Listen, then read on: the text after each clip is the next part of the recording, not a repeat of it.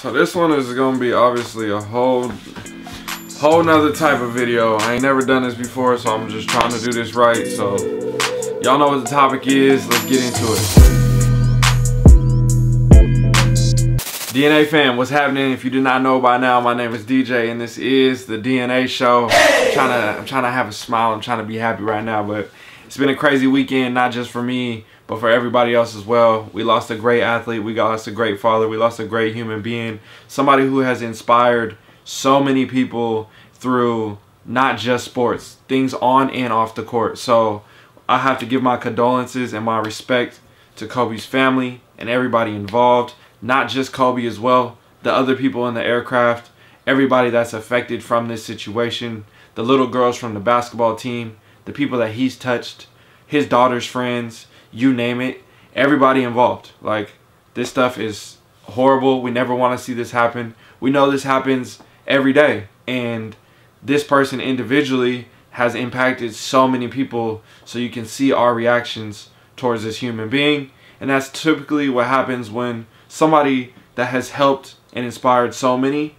they get that love that comes back as well. And even if it's a smaller scale from somebody like me or somebody like you, we still have our impacts and we hope that we do have our impacts on each other to make this world a better place. So basically, I just kind of want to talk about this topic of his sneakers because obviously he's had a huge factor in uh, the shoe culture, the community. Obviously, everybody knows that his sneakers sell very well in China. Um, they sell well in America and I'm I'm very confused, conflicted, interested, all these different things when it comes to his sneakers recently. Uh, today, today, because the accident happened earlier today, and I'm seeing a lot of people, so many different uh, reactions. People are loving that people are making a bunch of money off of his shoes and other people are hating that people are making a bunch of money off of his shoes. And I can understand both dynamics.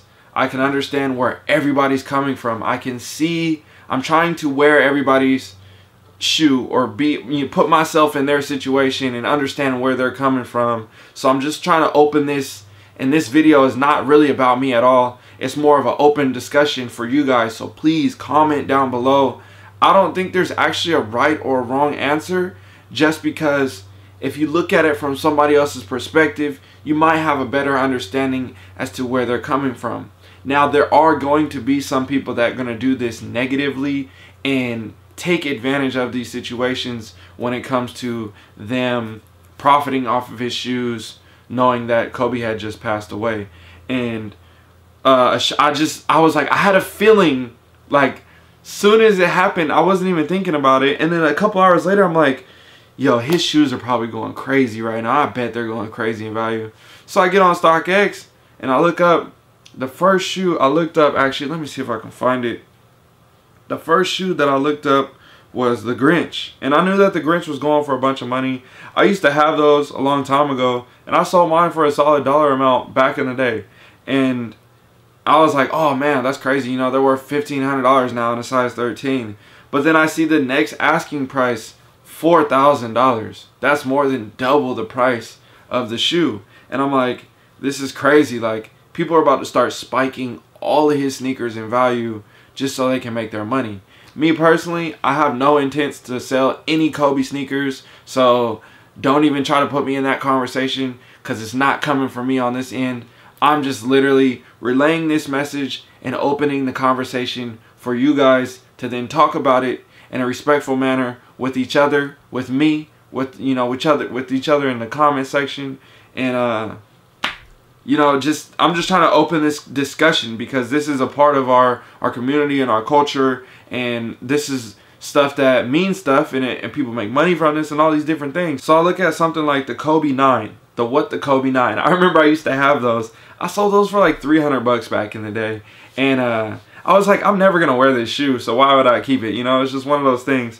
And I look now and I'm like, damn, 780 bucks. That's crazy. Like these things then like doubled or tripled. So then I looked at the dates and everything from the sales and I'm looking right here and I'm like, that's from like today. because yesterday they weren't going for that. Like you could see they were going to go for 300, maybe 500 bucks if you get that crazy sale. But soon as the incident happened today, next thing you know, you've seen pairs selling for 480, 440, and then a pair that just sold for 780 on StockX. So people are definitely taking advantage of this situation, which comes the question, is this a bad thing to do? Is this a good thing to do? Who knows? You don't know this person's situation as to why they're selling the shoe. Um, some people could have already had the sneaker on StockX for sale. And because of that situation, the price rose in value just like any other sneaker would if you were to purchase an off-white and then over time it rises in value. So they could have been in that situation where they already were intending to sell the shoe and then they came to wow, the shoe just spiked in price, so I'm going to sell it for more as well. And do you fault that person for that? I don't know if that makes sense eh, to me because they was already planning on selling the shoe. But then you have other people that have the shoe, weren't planning on selling the shoe because it was at X amount of dollars, and because the price doubled or tripled, they now they're going to sell the shoe and get their money off of it and take advantage of this situation. So you got a bunch of different dynamics and a bunch of different things. And then you have another part where it's like, well, do we fault the buyer?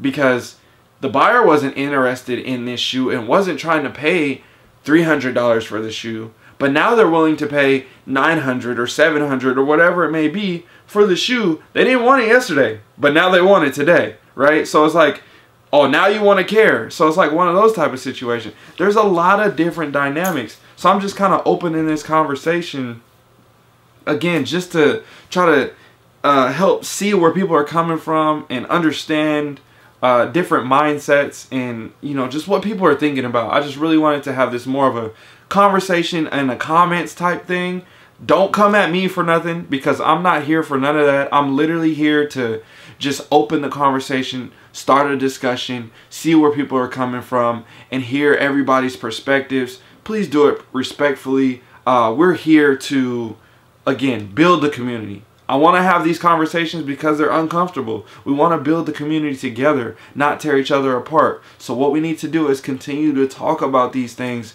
with each other, not tear each other down and understand where other people are coming from. And don't make your judgments and all these things just understand where people are coming from. I would really like to see that happen down below in the comment section. I'm going to pull up a couple other shoes that were actually a big shocker to me as well. So the Kobe 1, the 81 point game, when did those come out? I think, was that like a couple years ago? It wasn't that long ago those came out. But everybody remembers these. So I'm looking at a pair right here, sold for $315. Literally, literally, a couple days ago, well, I guess last month, you want to call it, it's not even selling that often, honestly. But if you look at last month, $107, $133, $98, $80, $79, $70, right? This shoe was barely even selling for $100. And now it's selling for $250, $550, $315. You see where I'm going right here. Literally going for under a hundred bucks and selling for five times the amount now because of this situation. And again, this is just, I'm giving you guys the information of what is happening here on the internet. It's not me. I'm not the one that's making the sales or the buys. I'm just relaying the message to you guys. So I hope this uh, sparks a new mindset. I hope you guys are able to talk in the comment section and really just, just, I don't know. We got to figure it out and try to make it better. I don't know how we can do this. Again, that's why I'm trying to just figure it out. Like, I don't know either. That's why I want, I need you guys' help.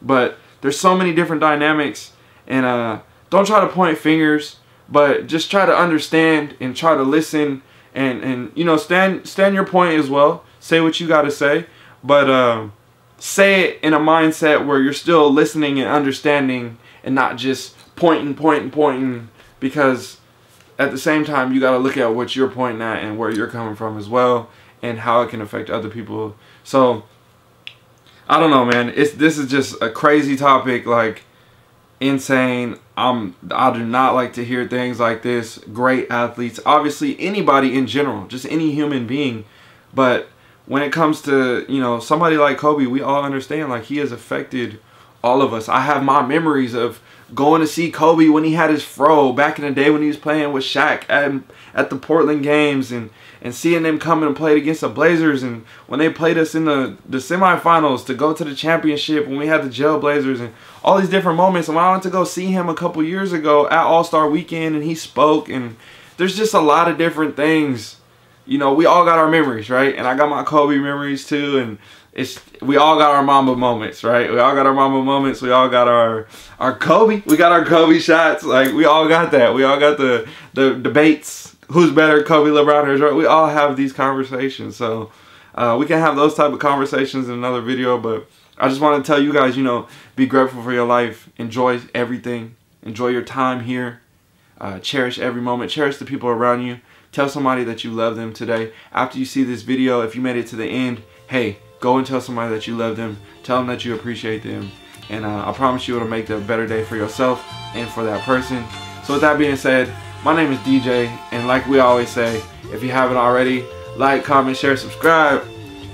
I'm signing out. I'm gone. Peace.